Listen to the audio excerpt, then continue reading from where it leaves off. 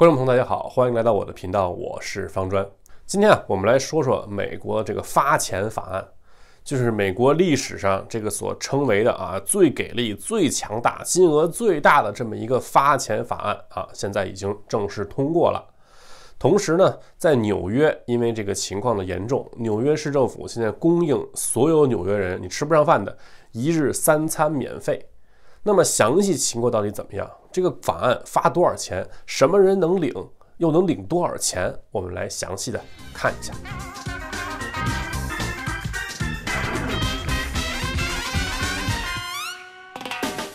那我们先说一下纽约的情况。纽约是这样，纽约市政府为了照顾一些已经失去工作两周到三周以上的人，他们认为这些人没有工作，已经吃不起饭了，所以他们要管这些人饭。所以呢，他们在全市一共是四百三十五个点儿啊，放置了这个呃领取食品的地方。但是呢，这个事情啊，我砖头要稍微批他一下，为什么呢？因为这就是充斥了这种作为，充斥了那种官员做事情拍脑袋。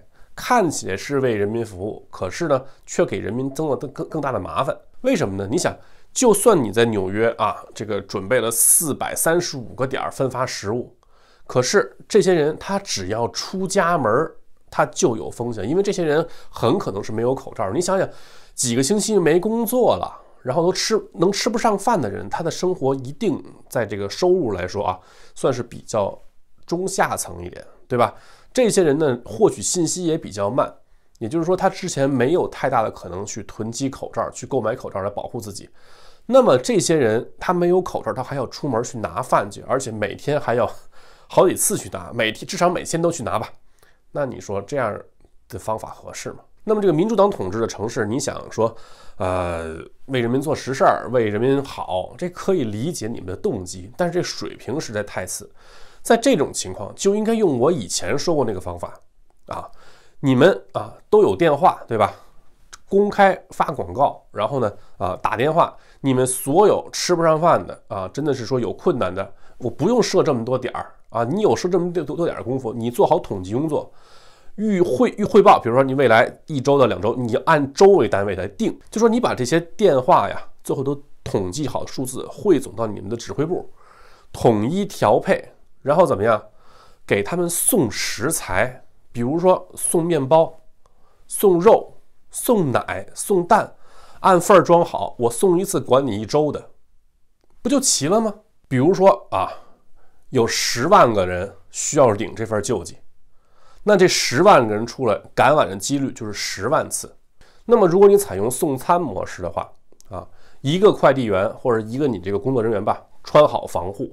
那么一天送三十个人，啊，那么一周能送多少人呢？一周啊能送一百一百八十个人。那么大概算下来，如果说十万人的体量的话，你只需要五百名左右的送货人员啊，就能够完成这个任务。那你说你是让十万人准备十万个口罩和防护物品来领好，还是你准备五百多人、六百人，然后你给他们配齐防护用品，让他们去送好呢？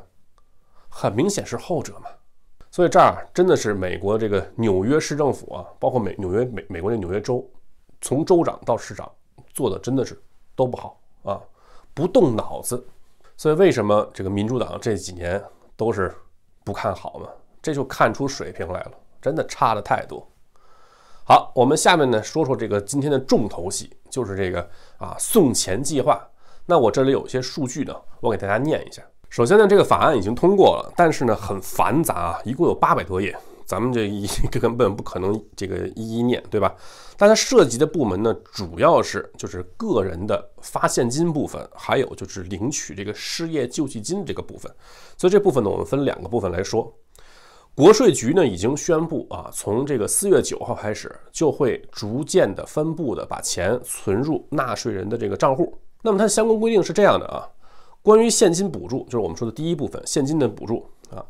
单身，如果你没有结婚，你的年收入低于十万元，那么就是说夫妻两个人低于二十万元，那么都可以得到补助。那么其中呢，啊，年收入啊，单人是七点五啊，就七点五万，夫妻呢是十五万，年收入十五万以下啊，年收入十五万和一个月就是一万多块钱吧啊。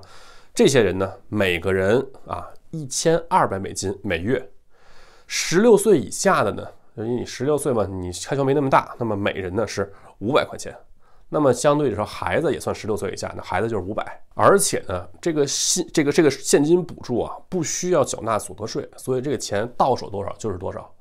所以你想一下，如果是一个夫妻吧，一对小年轻夫妻在美国从事，比如说送快递或者做一些比较简单的工作，比较这个啊劳劳力的工作，那么他们夫妻现在哪怕什么都不干。啊，然后没有孩子，他年收入符合这个标准的话，那么这俩夫妻俩现在什么都不用干，每天呃每周每月啊每月能领，呃两千四百美金，两千四百美金什么概念？两千四百美金就是说啊吃啊喝都足够了，房租可能差一点。如果看他们住的什么环境啊，如果两个人租的一个公寓的话，那么这个吃喝房租都够了。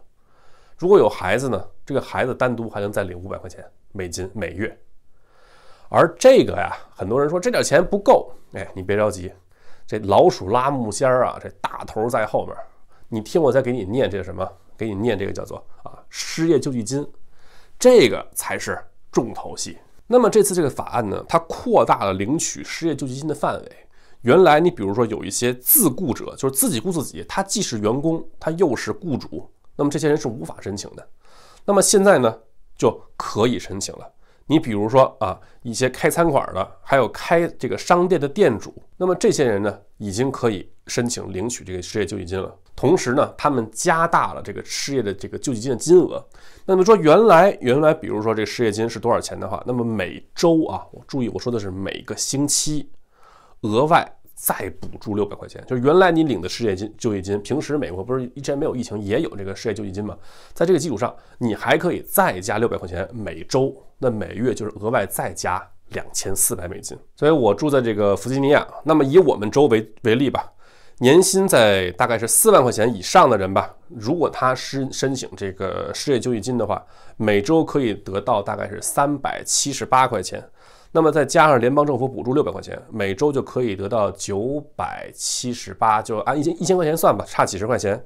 那么他四周一个月就能拿四千块钱，也就是说，如果他失业，这个呃失业了领六救济金的话，他每个月能拿四千美金。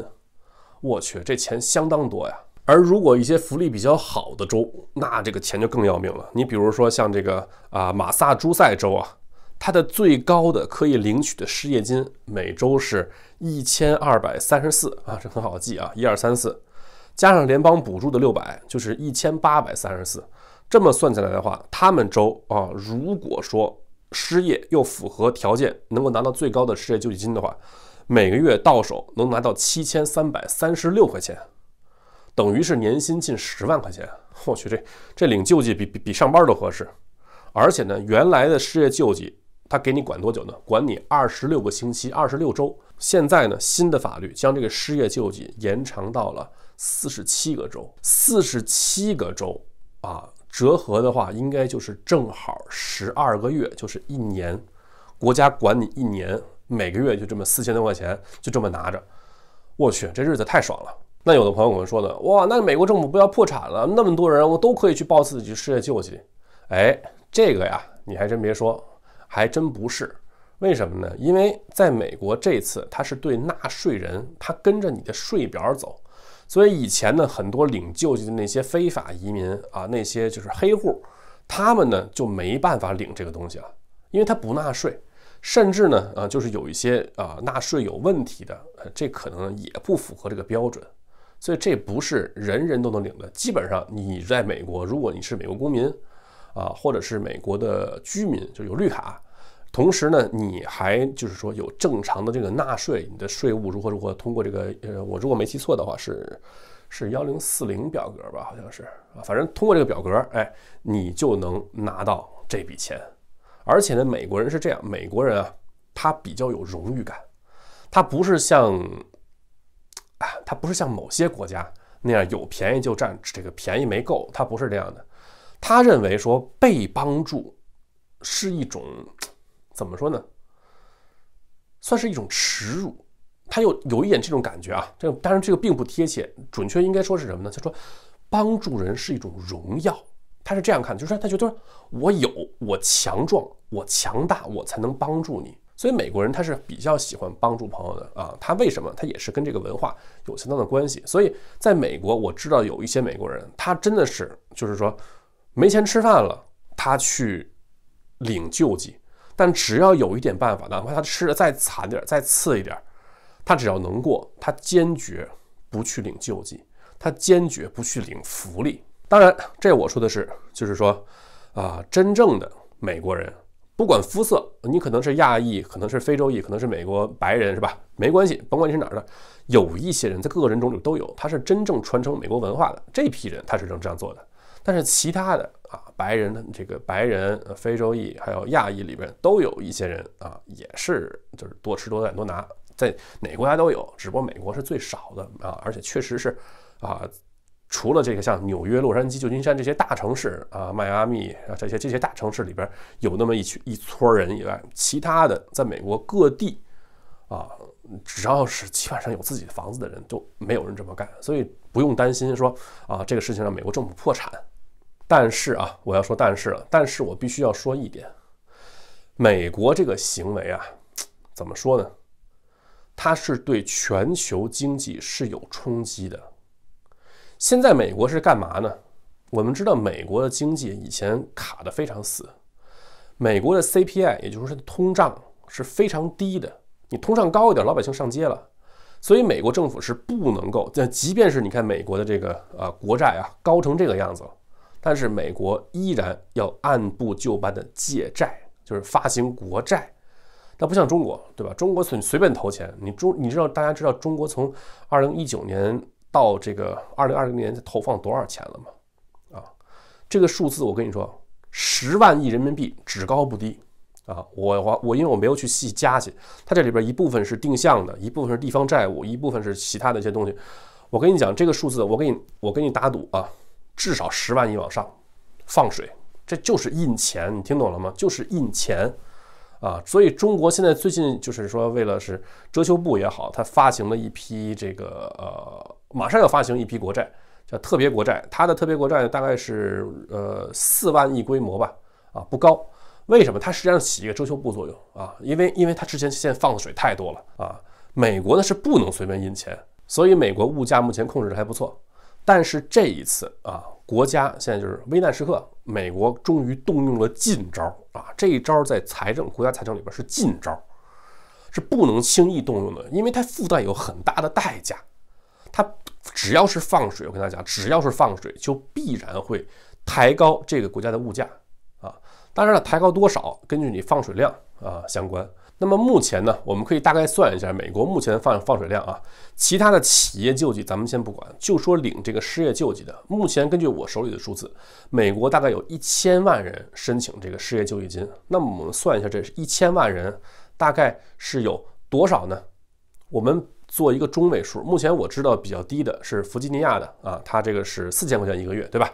那么这个马萨诸塞呢是大概是七千块钱一个月，咱们做一个折中，那就是五千五百块钱一个月，一千万人啊乘以五千五百块钱是多少？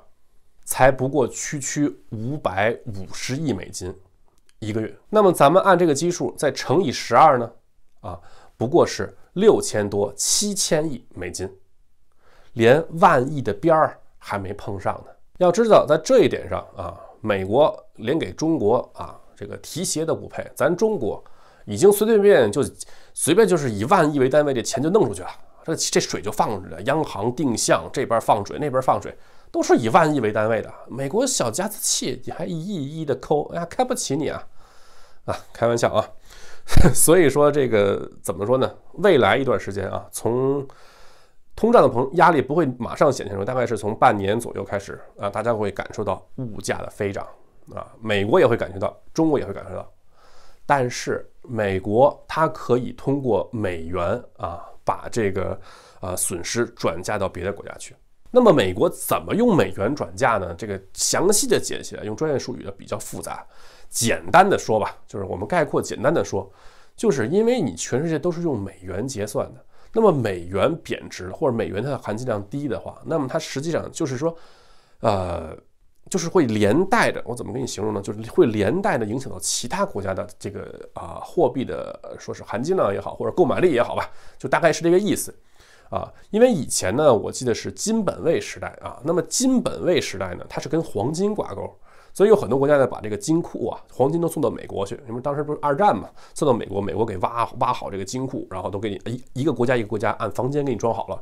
这黄金都铸成那大金砖，我去贼重的那种。你你想偷，我跟你说，你抱着一个都抱不动，贼沉啊！之前美国他们那个国家国家银行金库不是还有一个旅游项目吗？就是你去那个金库去，这金子你能拿走就是你的。嗯，游客好家伙使着搬搬不走啊，因为什么？一个人真的搬不动这金子，金子太沉了。啊，那会儿是金本位，那后来是全世界跟美元挂钩，那你想想吧，都跟你挂钩，那可不受你影响吗？就就大家这么理解，就比较比较好懂，比较好理解。所以说呢，随着美国的这次这个啊法案的正式实行，我们基本可以确定，在未来的啊保守估计吧，一年到五年之内，或者一年到四年之内吧，啊，这个全球的一个经济危机和一个经济衰退。啊，将会啊正式开始，也就是说，现在已经基本就确定了，啊，未来进入一个衰退的这么一个周期，啊，各国的这个物价，各国的通胀压力都有可能上升，尤其是中国，因为中国你有大量的东西要进口，有很多东西都是必须用美元来结算的，所以中国也必然会受到影响。只不过呢，冲击不是说像直接一样，美元迎面撞上人民币，不是那种，而是一种缓慢的啊。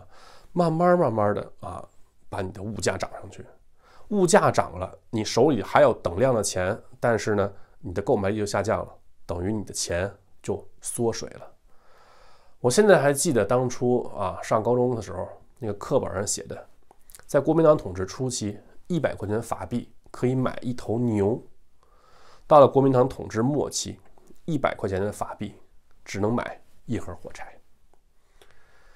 好吧，那今天节目就到这里，感谢大家，我们下期节目再见，拜拜。